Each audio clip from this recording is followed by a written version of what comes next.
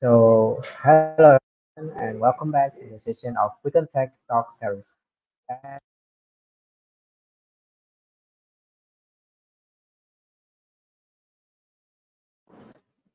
so, hello everyone, and welcome back to uh, today weekend Tech Talk series. And let me first introduce myself. My name is Mawaldin Hamajid, and I'm from IDN Boarding School, especially vocational high school. And today I will be the host of this session of Weekend Tech Talk series. And today we are going to be talking about artificial intelligence by Refeno. Refeno, maybe you can telling yourself first. Okay, uh, hello everyone. Uh, my name is Ravina Dragamutra. Maybe we've made before in previous video about introducing to Linux. So let me introduce myself again. My name is Ravina Dragamutra. I'm from 10 RPL and I'm from uh, IDN Boarding School Jonggol, Vocational High School. And so in today's occasion, I would like to talk about artificial intelligence, but from the basic and what is the principle of artificial intelligence, what does it mean, and how it becomes a very, very um, life-changing for humans. So yeah. So Yeah.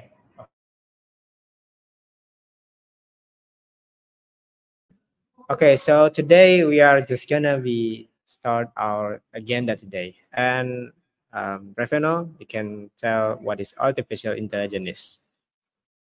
Okay, thank you, Mauliadha. So uh, let's just uh, start with what is artificial intelligence.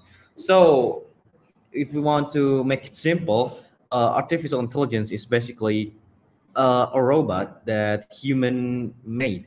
So uh, wait, I will present my screen first before continuing the thing.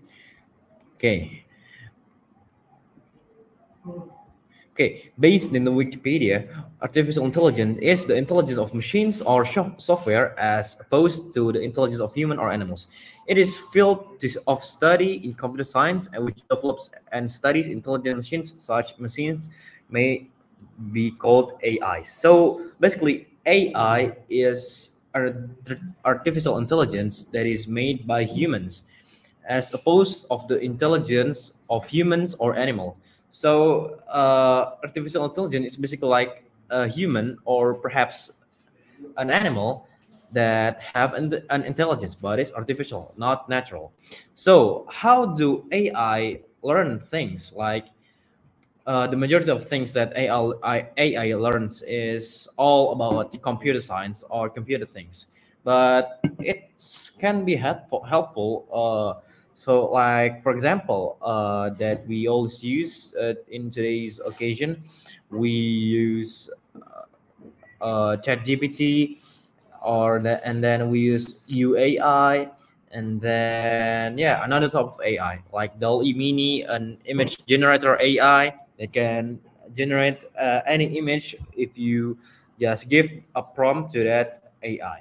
So uh, artificial intelligence is basically uh, life-changing inventions that human made. Uh, so AI technology is widely used throughout industry, government, and science.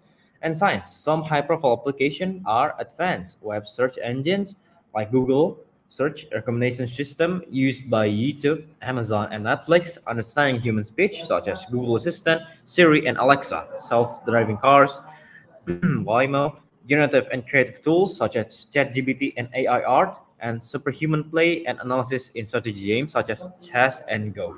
So basically, artificial intelligence is uh, not is can do whatever that human can do. So just like text said, uh, the text said, it can give you recommenda- recommendations on what you like, and then it can understanding human speech as Google Assistant, Siri, and Alexa, self-driving cars, Waymo or Tesla, and generative and creative tools such as ChatGPT and AI art. So, uh, the various subfields of AI research are centered around particular goal- goals and the use of particular tools, the traditional goals of AI search, including reasoning, knowledge presenting, planning learning, natural language processing, perception, and support for robotics. So uh, AI search included, as just like I said before, knowledge, presentative, and something like that, uh, etc., is uh, like helping humans on doing their basic things, doing their uh, like pro- uh, like tasks that they are need to do, such as ChatGPT. Uh, you have an an article to write, but you only have like three more minutes before submitting submitting it. So yeah, ChatGPT can help you by just writing a whole article in just one minute, or maybe less than a second. Why? Because artificial intelligence, just like I said, is an intelligence that can learn by themselves uh, a hundred couple of times, not like humans. Humans learn things slowly, but AI, artificial intelligence, a computer, they doesn't need a rest, so they can learn things fastly and doesn't require anything. Uh, well, they require some source to know what the hell that they are learning about. But as a but as a human, okay, you need a source, and then you need to take a shower, or you need to do your daily basis like sleeping, eating, and then taking a rest because you are a human, not a robot.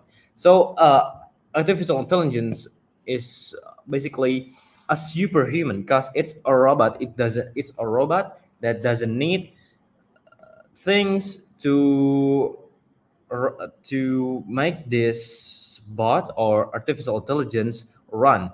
They just need electricity, internet connection maybe, and then a server that's three crucial thing that AI needs. And they and if you give them these three props, they just gonna do all things without any hesitation and then without uh, without limitation. So AI would know like how to make a, rock, a space rocket ship within like perhaps one month. While as human, we need to wait for 50 years on knowing how to make a rocket ship. Why? Because AI doesn't need a sleep, doesn't need a rest or anything else. Uh, so their progress on, on learning something is way faster than us. So, and then the goals of the, uh, the general problem of simulating or creating intelligence has been broken down into sub-problems. This consists of particular traits or capabilities that uh, researchers expect, expect an intelligent system to display. The traits described below have uh, received the most attention and cover the scope of AI researchers. Reasoning, problem solving.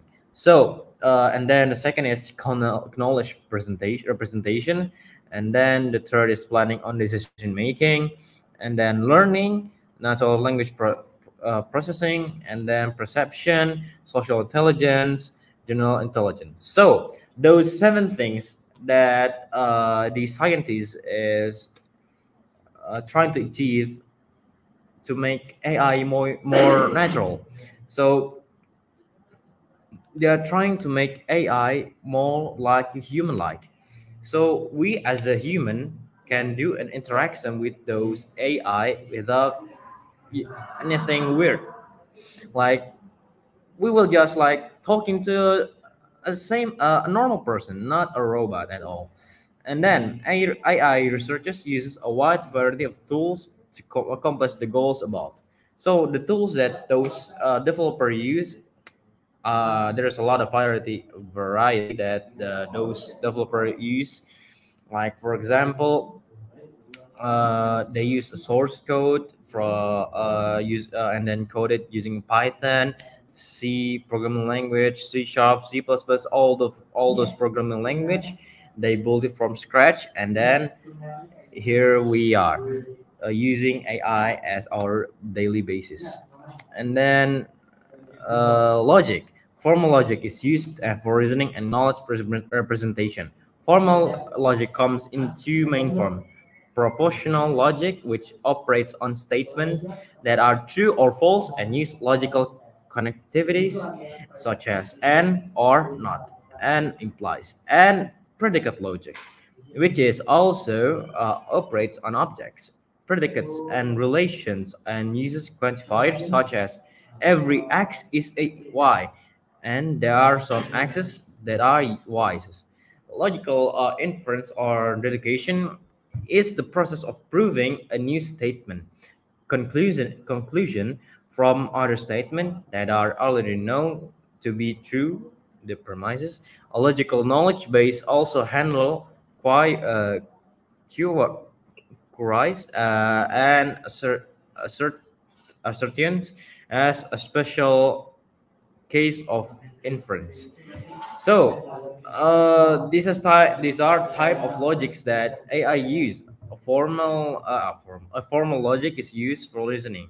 So first uh, logic is propositional logic, and then the second one is uh, is predicate logic. So uh, let's get back to the tools of, or maybe uh, like the goals of these developers on AI, on like what they they want to their AI to be uh, naturally understand this type of knowledge. So first, uh, let's we debunked uh, the reasoning problem solving. Early, early researchers developed uh, algorithm that maintain step-by-step reasoning that humans use when they solve puzzles or make logical uh, deduc deduct deductions. By the late 1980s uh, and 1990s. Uh, methods were developed for dealing with uncertain or incomplete information, employing concept of probability and economics. So, uh, so researchers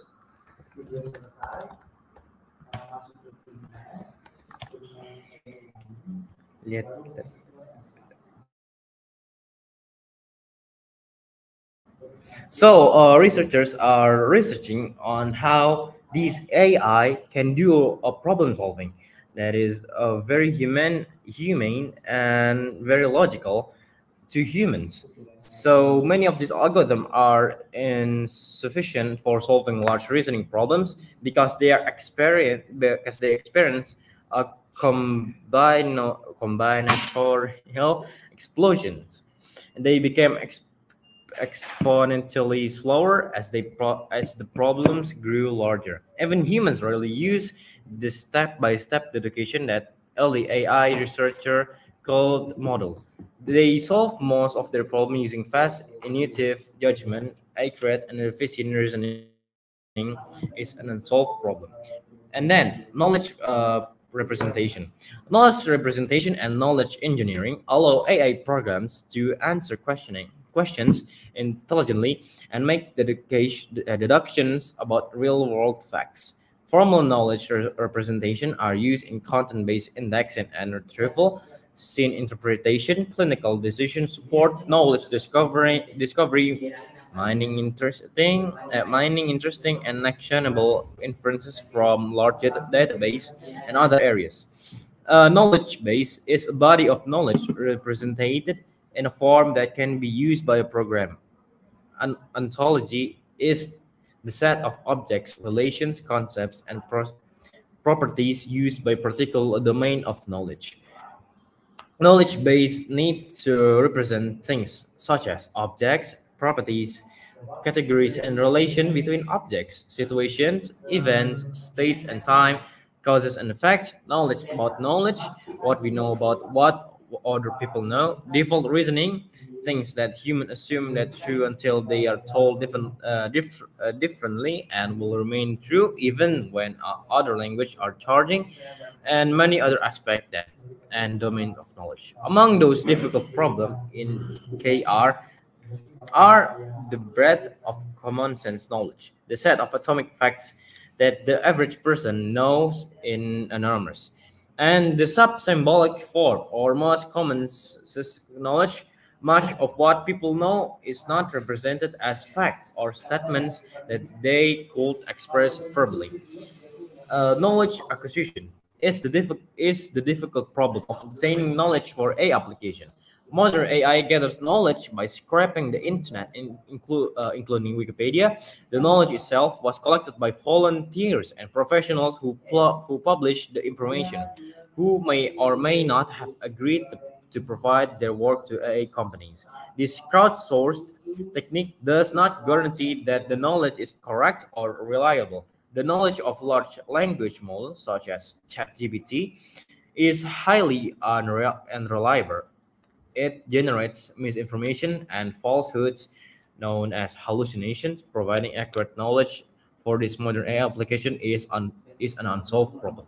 So it is actually a big problem for those AI developers because uh, uh, those AI that is searching knowledge or uh, knowledge representations uses uh, open source knowledge from volunteers or perhaps uh, professional who publish their information, including in Wikipedia. So, uh, like example, ChatGPT, if you ask something on what is the Independence Day of America, and then he uh, the AI automatically searches it uh, or scraping uh, information from internet, so it's not that reli reliable and then planning and decision making. An agent is is anything that perceives and takes action in the world.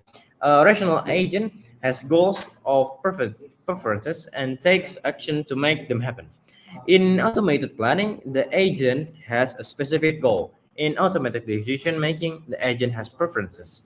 There are some situations it will prefer to be in, and some situation it is trying to making the agent has uh, trying to avoid. Uh, the decision-making agent assigns a number to each situation called the utility that measures how much the agent prefers it. For each possible action, it can calculate the expected utility, the utility of all possible outcomes to the action, weighted by the probab probability that the outcome will occur. It can choose the action with the maximum expected utility. So, and then learning. Machine learning is the study of programs that can improve their performance on a given task automatically. It has been a part of AI from the beginning. There are several kinds of machine learning. Unsupervised learning analyzes a stream of data and finds patterns and make prediction without any other guidance. Supervised learning requires a human to label the input data first and then uh, and come into main varieties. Classification where the program must learn to predict what category input belongs in belongs in and regression. Well the program where the program must deduce a numeric function based on numeric input. And then natural language processing. Natural uh, language processing, or NLP, allows program to read, write, and communicate with human language, such as English, and then specific problems with speech recognition, speech synthesis, machine translation, information extraction, information retrieval, and questioning answering. Early work based on Noam Chomsky's generative grammar and sem semantic networks had difficulty with word sense disambiguation unless restricted, to small domains called microworlds.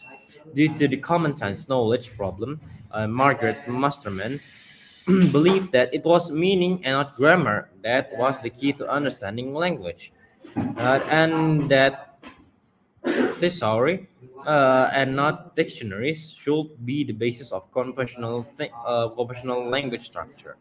Modern deep learning techniques for NLP uh, include word embedding, representing words typical as vectors encoding their meaning, trans transformers, a deep learning architecture using an attention mechanism, and others. In 2019, Generative Pre-trained Transformer, or GPT, language model began to generate coherent text. And by 2023, these models were able to get human-level scores to, on the bar exam, SAT, GRE, and many other real-world applications. And then perception. Machine perception is the ability to use input from sensors such as camera, microphones, wireless signal, uh, active lidar sonar, uh, radar, and tactile sensor. To to these aspect of the world, computer vision is a, is the ability to analyze visual inputs. Uh, the field includes speech recognition, image classification, facial recognition, object recognition, robotic, and robotic perception. This is the example of image recognition, features uh, detection. It's pictured uh, from edge detection uh, used by the Microsoft Edge helps and compose information abstract and a structure out of raw data. And then social intelligence.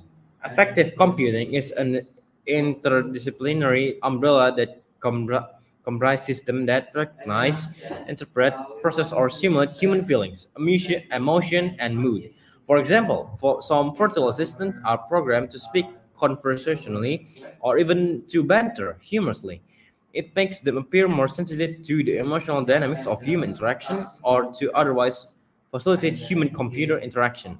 However, this tends to give naive uh, user an unrealistic conception on how intelligent exist, existing computer agents actually are. Uh, moderate success related to uh, affective computing include textu textual sentiment analysis and more recently uh, multimodal sentiment analysis, where AI classifies the effects displayed by a videotape subject. And then last, general intelligence. A machine with artificial intelligence should be able to solve a wide variety of problems with breadth and versatility to similar, uh, similar to human intelligence. So basically, social intelligence is the type of AI that uses like a mood so it can interact with humans more interact with human more naturally. Why? Because uh, as a human we need uh, some like uh, human interaction even though it's a robot but we can yeah feel like we're texting or talking to a real human so yeah i think that's that's all that i can explain about this artificial intelligence so yeah thank you for listening to my presenting. Okay, Molly.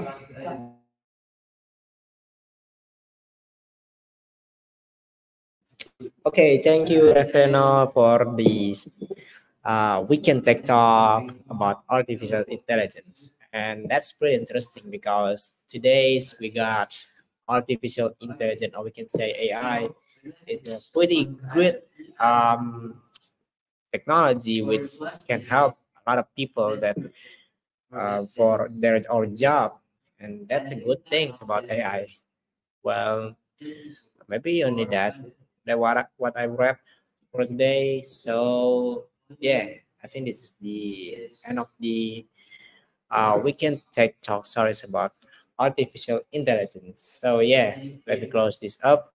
Thank you guys for watching and uh, see you in next Weekend Tech Talk with me and Repino. Okay, bye.